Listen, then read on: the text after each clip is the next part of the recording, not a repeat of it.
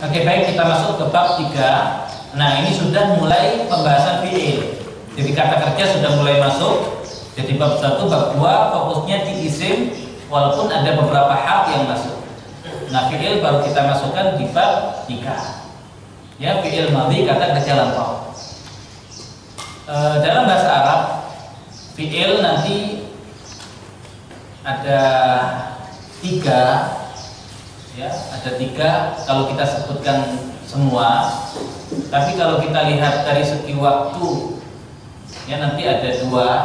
Kalau lampau menggunakan fi'il madhi sekarang dan akan datang menggunakan fi'il mudhari walaupun fi'il amr kata kerja perintah itu kenapa dimasukkan ke dalam fi'il? Ya karena ada unsur waktu. Kapan waktunya ya setelah ada perintah. Ya kan? Makanlah. Kapan makannya? Ya, setelah ada perintah nggak mungkin sebelum ada perintah. Makanlah kemarin. Nggak bisa. Ya jadi karena dia mengandung unsur waktu makanya dimasukkan ke dalam fi'il. Kata kerja perintah. Walaupun kalau normalnya itu kan lampau sekarang akan datang. Kalau lampau nanti masuk ke dalam pembahasan fi'il madhi sekarang dan akan datang nanti fi'il mudhari di bab 4 ya tapi tetap amar dimasukkan karena mengandung unsur waktu makanya nanti kalau kita masuk ke kaidah tadabbur kalau Allah gunakan isim berarti Allah tidak sedang membahas waktu tapi Allah gunakan fi'il berarti Allah fokus pada pembahasan waktu ya nanti di situ Oke. Okay. Uh, eh, dan untuk fiil ya dalam bahasa Arab ya kata kerja itu berbeda dengan kata kerja dalam bahasa Indonesia. Contohnya ketika menulis maka selamanya akan menulis. Siapa pun yang menulis dia menulis. Ya satu laki-laki dia menulis satu perempuan kamu menulis. Dia laki-laki kamu menulis perempuan tetap kata kerjanya menulis.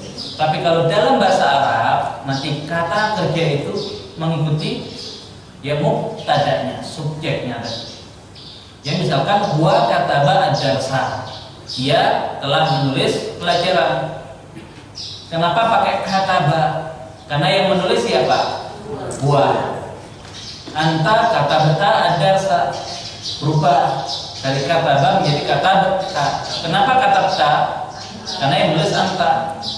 Kalau kita ganti ana, jadi ana kata itu adasa kita ganti nahnu, nahnu kata benar ada. Ya, jadi dia akan terus berubah mengikuti siapa yang melakukan aktivitas tersebut. Dan untuk polanya bisa dilihat di halaman 30 yang tadi sudah kita jadikan hafalan wajib ya fa'ala fa'ala fa'alu fa'ala fa'alata fa'alna fa'alta fa'altuma fa'altum fa'alti fa'altuma fa'altuna fa'altu fa'alna nah kemudian contohnya di situ ada kata kataba kataba kataba katabu katabat katabata katabana katabata katabtuma katabtu katabti katabtuma katabtuna katabtu katabana nah eh, dan nanti kalau dalam bahasa Arab ada kata kerja itu kan ya fa'ala ada yang polanya fa'ala ada yang polanya fa'ila ada yang polanya fa'ula. Ada yang ain fiilnya fathah ada yang kasro ada yang goma ini memang dari sananya begitu. Nah karena fiil madhi itu kan dia fa'ala. Ya fa'ala Nah, huruf pertama ini dinamakan fa'ul fi'il. Fa fi'il. Kalau huruf kedua namanya ain ain fi fi'il. Yang ketiga namanya lam lam fi'il. Fa'ul fi fa'ul fi'li, ainul fi'li, lamul fi'li. Kenapa huruf pertama fi'il? Karena hurufnya fa. Yang kedua, kenapa dinamakan ainul fi'li, ain fi'il, hurufnya ain. Kenapa yang ketiga namanya lamul fi'li? Karena hurufnya la. Kalau kata ba, fa fi'ilnya apa? Ka. Ain fi'ilnya ta. Lam fi'ilnya ba. Kalau boroba, fa fi'ilnya bo, ain fi'ilnya ro lam fiilnya ha. Nah, jadi polanya nanti seperti itu. Yang huruf pertama disebut fa fiil, huruf kedua ain fiil, huruf ketiga lam fiil. Nah, kalau fa'ala contohnya tadi ya kadaba atau jalasa jalasa Kalau fa'ila contohnya apa? syariba apa? Syariba? Minum. Minum. Jangan diganti syaroba karena jarisannya syariba.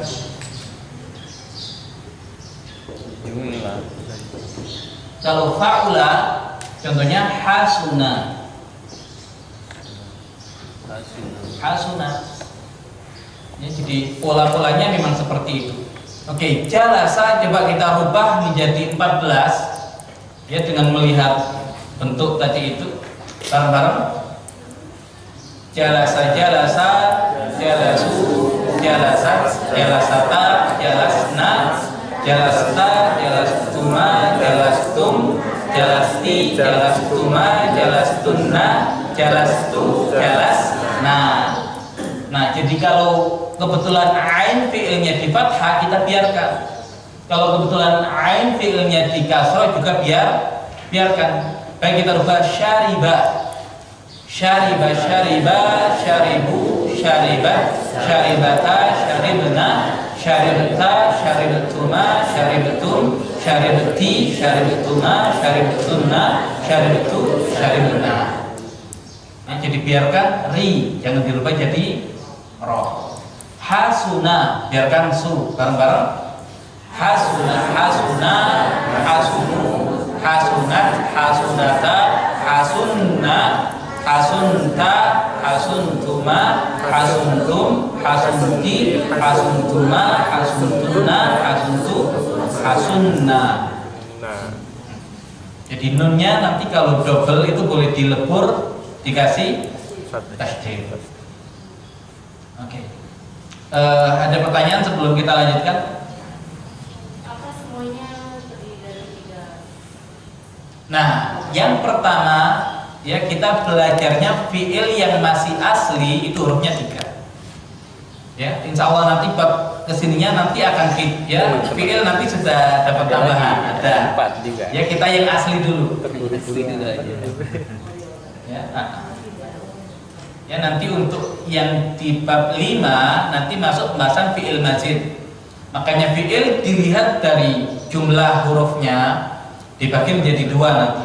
Ya ini nggak usah ditulis nanti kita pelajari di bab 5 ada yang asli belum mendapatkan tambahan huruf itu namanya mujarrad. Ada yang sudah mendapatkan tambahan huruf namanya mazid nah tambahan huruf nanti ada yang dapat tambahan satu ada yang dapat tambahan dua ada yang dapat tambahan tiga ya tambahan satu polanya seperti apa masing-masing pola nanti ada artinya ya tambahan dua nanti polanya apa nanti seperti itu asalnya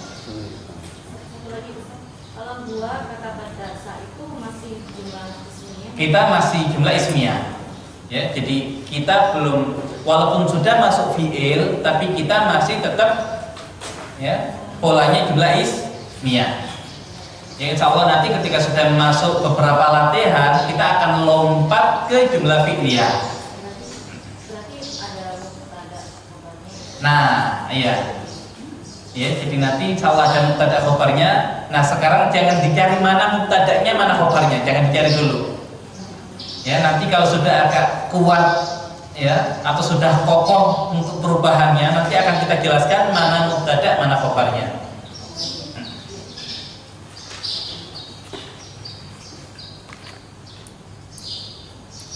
ini artinya yang suaminya ini harus ini nanyanya lebih dahsyat lagi ya.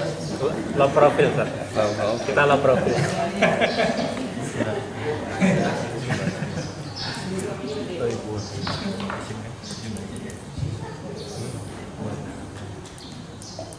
ya, padahal perempuan itu kalau di rumah itu nggak ada diemnya bu ya masih bisa belajar itu luar biasa jangan kira suami gara-gara sudah keluar kemudian bawa uang itu kemudian di rumah. Ya lebih banyak lowongnya istri atau suami di rumah itu? Itu suami. Ya sekali capek keluar iya. Cuma di rumah kan udah atau ikut bantu nyuci bantu masak bantu ngepel. Kadang-kadang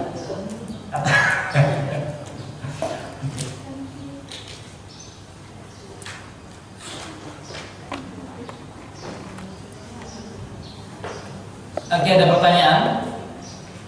Untuk fiil makanya kenapa di awal kita harus ada hafalan wajib yang fa'ala fa'ala fa'ala fa'ala sampai akhir itu? Karena memang nanti apa pun polanya selalu begitu jadi kalau sudah hafal pola itu nanti dikasih fiil apa pun insya Allah bisa berubah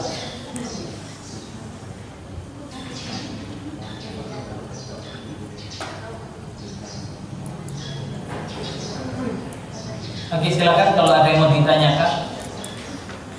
Nah ini untuk seandainya kita masuk ke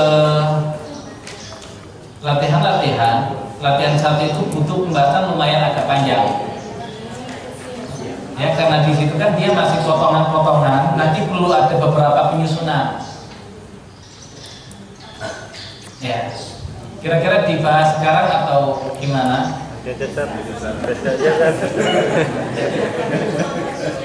Yang masuk sedikit kita alasannya. Alasannya yang masuk sedikit. Ya tapi intinya untuk yang pelajaran fi'il madhi ya fa'ala. Berarti huruf pertama disebut fa fi'il huruf kedua Ain. fi'il huruf ketiga Lam. fi'il. Nah untuk ain fi'il ya kemungkinannya ada tiga. Ada yang di fathah ada yang di kasro ada yang di Goma. Kalau fathah kita biarkan fathah. Kalau eh, kasro kita biarkan kasro. Kalau goma kita biarkan goma. Dari mana kita tahu kalau ain fiilnya itu di fathah, di kasro atau di goma? dari sana Dari sana. Dari sananya. Balas.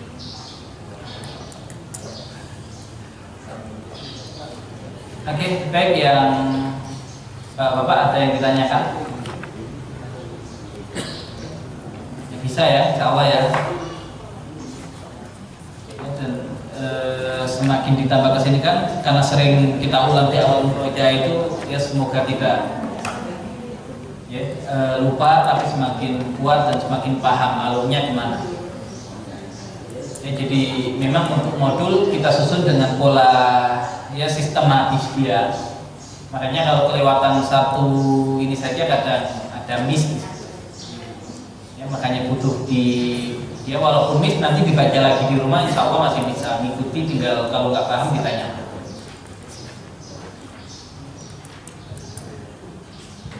Oke cukup. Oke baik kalau ya cukup kita tutup kita baca hamdalah dan doa atubu ilaik.